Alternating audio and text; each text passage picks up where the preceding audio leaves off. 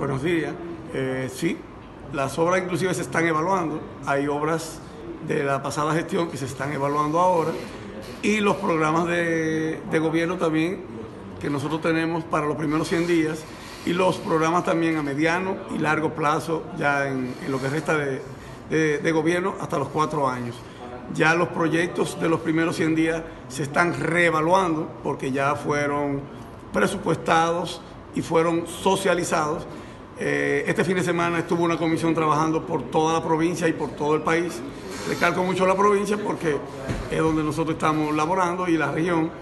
Y hoy continúan los equipos casualmente elaborando esos levantamientos, rectificando y socializando esos levantamientos para ya desde un punto de vista técnico poder ya darle solución, clasificar lo que son de emergencia, como hablaba del caso de Navarrete, perdón, de la Canela, en la carretera que llega a Navarrete y la línea noroeste, y los otros casos que ya quizás no son tan de emergencia, pero que son los requerimientos y, y proyectos que la sociedad y las comunidades han solicitado.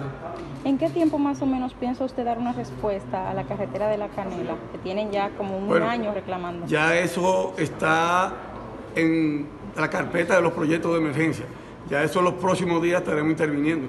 Ya nosotros mandamos el informe anoche, esta mañana ya tuvimos contacto con el ministerio para que eso ya se mande otro equipo técnico ya especializado para dar los últimos toques que tienen que ver con temas de presupuesto, con unas evaluaciones, porque son proyectos de emergencia, pero también son proyectos especiales, para evitar precisamente que el deslizamiento continúe, no hacer un trabajo preventivo y que a largo plazo vuelva, volvamos al mismo problema, sino que podamos resolverlo de raíz.